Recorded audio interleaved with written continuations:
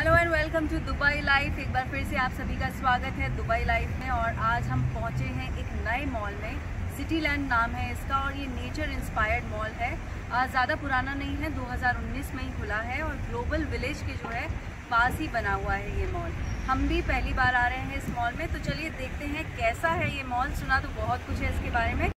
City land mall जो है, वो 2.2 मिलियन स्क्वायर फीट में फैला हुआ दुनिया का सबसे बड़ा मॉल होगा नेचर इंस्पायर्ड मॉल होगा, जहाँ पर एंटरटेनमेंट शॉपिंग और सब कुछ मौजूद होगा। यहाँ तकरीबन साढ़े तीन सौ जो आउटलेट्स हैं, वो यहाँ पर खुलने की तैयारी हो रही है।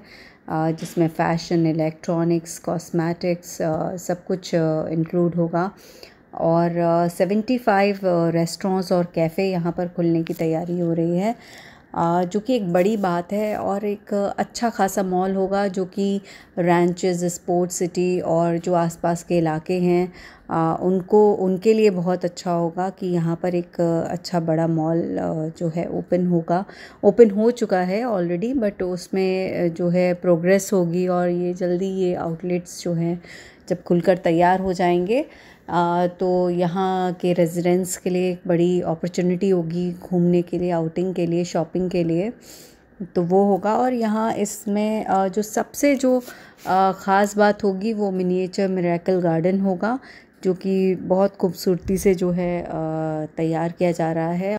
यहाँ पर ऑलरेडी काफ़ी कुछ जो है खुल चुका है, जैसे कि कारफोर सुपर हाइपर मार्केट जो है वो खुला हुआ है यहाँ पर और कुछ एक्सचेंजेस हैं, कुछ शॉप्स हैं सलून्स हैं जो कि ऑलरेडी खुल चुके हैं और अभी तो ये शुरुआत है। जब आने वाले टाइम में हम देखेंगे कि जब मॉल जो है पूरी तरह बनकर जब मतलब बन तो चुका है और जब पूरी तरह तैयार होगा घूमने के लिए तो इसकी एक अलग ही जो है, एक अलग ही लुक होगा, एक अलग ही रौनक होगी इस जगह पर। Think it's uh, gonna the uh, biggest attractions uh, in uh, coming years in Dubai जो आसपास के इलाके हैं उन सबको केटर करेगा ये। उन सब रेजिडेंस uh, के लिए टूरिस्ट के लिए जो है एक हब बनने uh, बन जाएगा। क्योंकि यहाँ पर सब कुछ जो है आने वाले टाइम में मौजूद होगा। और साथ ही ये जो ग्लोबल विलेज से जो लगा हुआ है ये इसकी सबसे ज़्यादा ख़ास बात होगी। और uh, दूसरा ये मेराकल गार्डन जो हमें देखने को मिलेगा, इसके अंदर वो, ये सबसे बड़ी जो है ख़ास बात होगी इस मॉल की। जैसा कि मैं आपको बता रही थी कि हम प्लान तो हमने किया मेराकल गार्डन घूमने का, फिर लेकिन जब हम वहाँ पहुँचे और हमने देखा कि आज वीकेंड है और अच्छी खासी जो है भीड़ वहाँ पर मौजूद थी तो इसलिए हमने थोड़ा सा अपना प्लान जो है वो चेंज किया और हमने सोचा आसपास जो भी चीज़ है वहाँ घूमते हैं। तो ये मॉल हमें, हमने जो है देखा गूगल पे सर्च किया और हमें, हमने देखा कि यहाँ पर एक मिनिएचर मेराकल गार्डन चलो देखने को मिलेगा बट हमने पूरा अच्छी तरीके से नहीं पढ़ा। जब वहाँ पहुँचे तो पता लगा कि थोड़ा सा डिसअपॉइंटेड तो हुए कि जो है वो गार्डन अभी जो है बना नहीं है सेंट्रल पार्क जो है वो अभी बना नहीं है, वो बनकर तैयार होगा और मॉल भी ऑपरेशनल तो हो चुका है, लेकिन अभी उसमें काफ़ी कुछ जो है तब्दीलियाँ होना बाकी है। लेकिन एक फ़ील जो अंदर आई मॉल को एंटर करते ही वो बड़ी अच्छी सी एक पॉजिटिव फीलिंग थी, क्योंकि चारों तरफ़ ग्रीनरी देखने को मिल रही थी।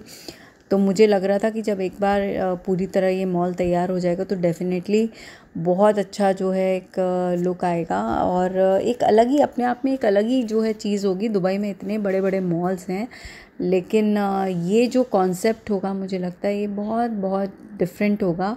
और बहुत जो है पॉपुलर हो सकता है ये कॉन्सेप्ट, क्योंकि इस तरह का कोई मॉल मैंने आज तक नहीं घूमा, किसी भी जगह नहीं घूमा, नॉट इवन इन दुबई। मैंने दुनिया में कहीं नहीं घूमा, इस तरह का कोई मॉल अभी तक तो नहीं देखा है।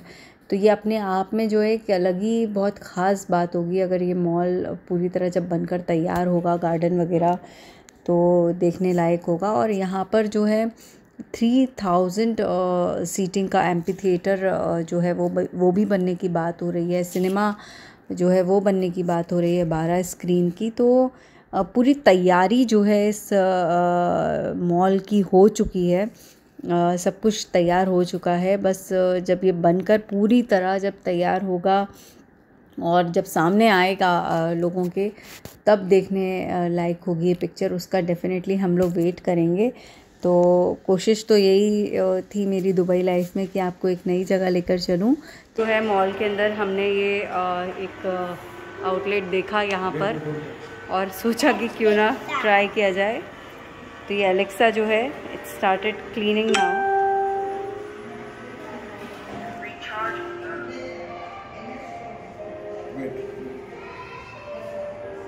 Alexa जो है, वो हमारी एक वर्चुअल असिस्टेंट है। जिन लोगों को नहीं पता है, उनके बारे में मैं ये बता देती हूँ कि it's a smart home outlet और यहाँ पर हमने सोचा कि चलो देखते हैं क्या है।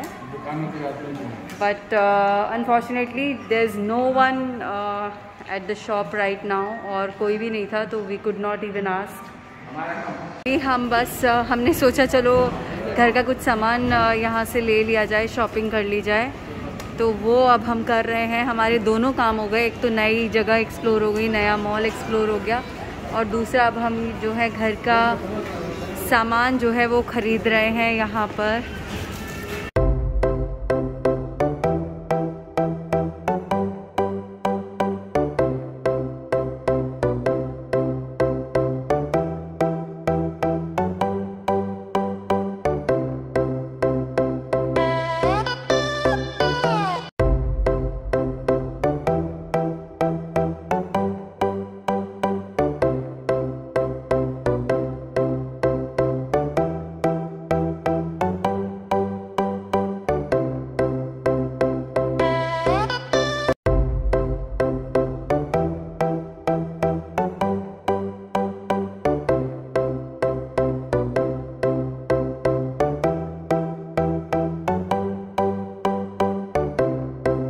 को हर बार की तरह अपना जो है फेवरेट आउटलेट दिख गया है ice cream corner and she is gonna get some ice cream for herself और uh, वो एक रिफ़्रेशमेंट होगा उसके लिए क्योंकि काफ़ी देर से हम लोग घूम रहे हैं तो वो भी थक गई है। Your day in Dubai life good what you having now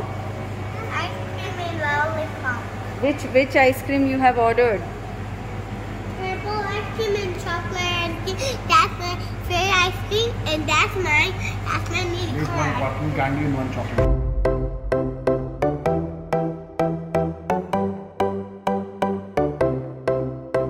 शाम हो चुकी है दुबई में। जब हम आए थे तो दोपहर थी अब आप नज़ारा देख सकते हैं। कितना अच्छा लगा सुंदर लग रहा है। शाम को और वो रहा हमारा जो ग्लोबल विलेज है यहीं पर। देखिए एक बार मैंने आपको एक एपिसोड में ग्लोबल विलेज पूरा घुमाया था। तो वो है यहाँ पर। हमारा होल्ड पापाज हैंड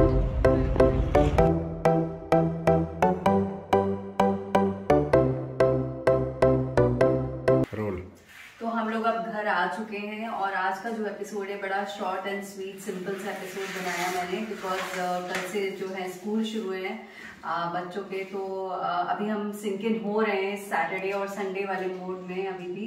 तो कल हमने सोचा चलो जल्दी से वाइंड अप करते हैं. इट्स नॉट सेफ़ कि हम बहुत ज़्यादा बाहर भी घूमें कंसिडरिंग द सिचुएशन तो अभी हम घर आ चुके हैं. Now we relax at home for some time और इसीलिए आज का एपिसोड मैंने जल्दी से ख़त्म किया. अगले एपिसोड में फिर से आपको लेकर चलूँगी एक अच्छी सी जगह पर, एक एक्साइटिंग सी जगह पर. तब तक के लिए बाय टेक केयर